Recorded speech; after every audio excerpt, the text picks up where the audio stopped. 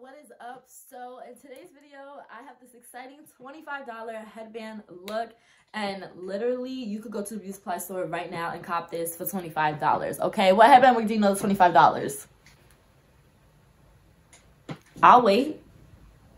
Oh you don't but now you do. So let's get into it. So starting off with the specs on this hair this is the Outre kinky straight big beautiful 18 inch clip-ins okay? And they are big and they are beautiful and they are laying flat on this side. I just feel like I have so much more control with this type of install over a headband wig because you can control how tight you want the headband, what kind of headband you want, how much thickness of hair you have underneath the headband. You know, I just, there's more possibilities. You know, in my opinion, it's a lot easier on the pockets. It's a lot easier on this wind, baby, because this East Coast wind is ruthless. And that's the one of the things that's had me hesitant about buying a headband wig is like, all I gotta do is walk outside and my hair is on the ground. I don't want that for me and I don't want that for you. But with these, okay, I've slept in these for multiple days straight and easy detangling process, still looks great when you wake up, still looks great when you take them down, when you install. It's just, I'm in love and I had to share with y'all. So let's get into it. Hello guys, so I'm clearly out the shower and it's time to take this hair down. Let's take this down. Okay, so boom, this is what we're working with right now. Basically, my new winter hair care routine involves like a wig alternative because you guys know I was wearing my blonde unit, but I decided to give it a break just because my hair was not having it with me dancing so much and having to wear a frontal. I'm just gonna use this. This is like my go-to if I need moisture and I need it to last. These two together have been like the best post-wash routine for me. So this is the Renpure Rose Water Soothing Conditioner and then this is the Camille Rose Cocoa Nibs and Honey um, oil. But I do about half a pump just because I want my hair to dry tomorrow because this is a winter hair care routine and I don't want my hair to be wet. And then I take some Camille Rose, only do like three drops because this stuff is actually kind of heavy. I like doing straight backs just because it's easier to maintain. Um, and I feel like it's less strain on my edges because I'm not pulling or crocheting mad hair through itself and pulling on my edges all top trying to keep that circular pattern.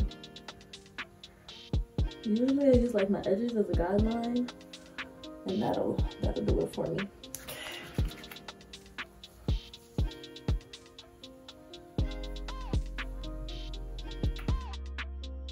I've been braiding my hair for almost 25 minutes.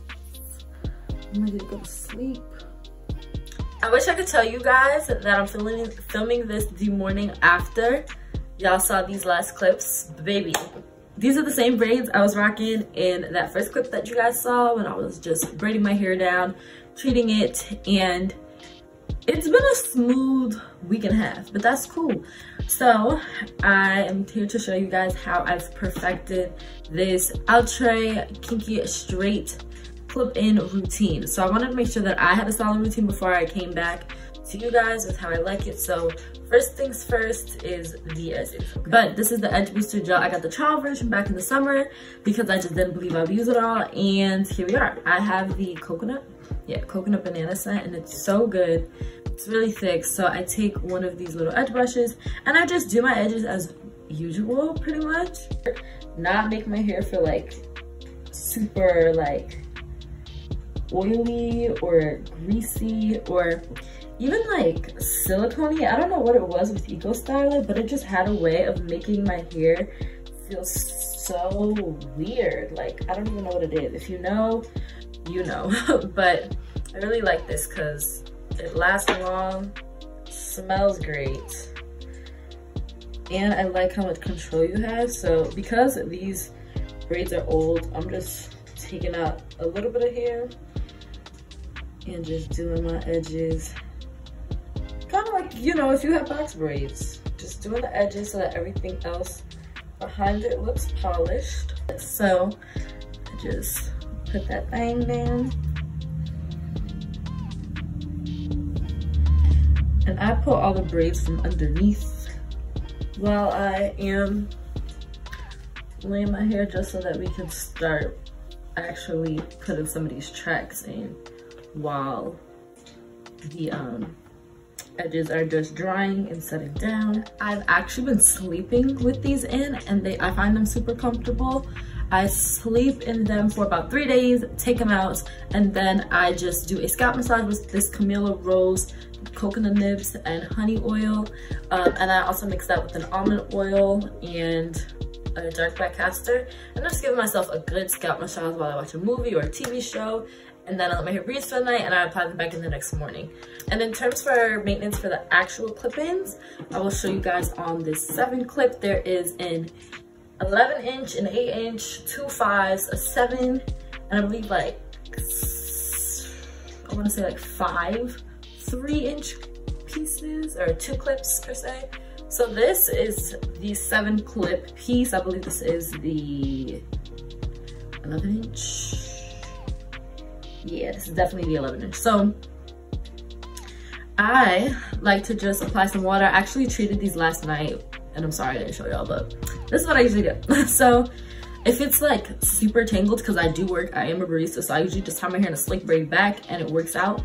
If I need to, I'll apply some water, literally just a little spritz because I don't want to, you know, have it just get like matted or anything because this is a human hair blend. So there is human hair in it, but it is not 100% human, you know, Brazilian, Indian, anything is um, mixed with synthetic fibers. Top on my clips open. Make sure they're open, okay. So I start with the side clips so I'm gonna scrunch the sides into my hair. And like I said, I placed the side ones going up and I wanna make sure that it's not clinking onto my scarf. Okay. These are actually a bit too large for my head. Um, so I would say that these definitely are big head friendly because I find that the clip lengths are a bit too big for my head. Like sometimes I have to kind of go out of like my little loop of range just to make sure that everything is like has a spot, if that makes sense. It's the five clip. So now I just go right on top and I just stack these things up. I usually like do a braid in between each clip just so that I can have some leverage and like an anchor to add the clips onto. But you also don't want it to be too thick because this hair is like yucky. It's not like it's super straight. So there's not really a need to have them super close because the density is already pretty high. So you can see what I mean when I go upwards. Like I started down here, but I go up. And it just depends on like the way that my braids are laying that day, if I'm being honest. And now I take my scarf down.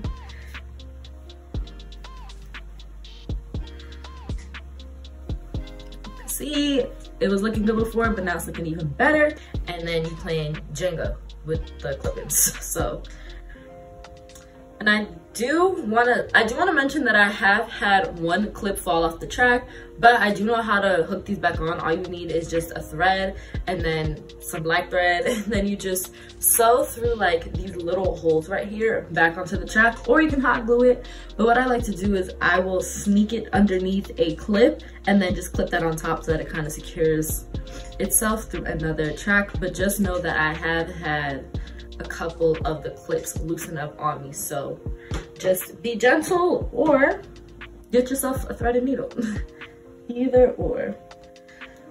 So I like to have the fives meet each other just because then I get a pretty even um, length once I pull it down. So this is what I mean when I say I'm gonna take this ending of the five, sneak it under the eight, and then kind of hook it in right there. I know it sounds and it looks crazy right now, but the way that we're gonna wear it, nobody's gonna know. So now I'm down to my two clips and I like to straight up get right next to those leave out sections.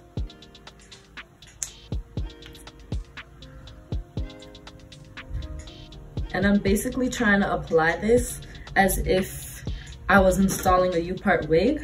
So you can already see there's that section right there that, like I said, if I wanted to, I could take out and then blow my hair up. Apply a two clip straight back because for some reason that other section was looking wild. So I'm just gonna apply the two clips straight in the middle of these braids.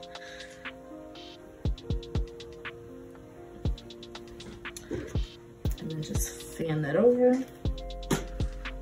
So yeah, instead of the two sections, that's what I would do if I had leave out. But just because we're gonna do what we're about to do, I'm gonna do it this way. Take my headband and I just apply it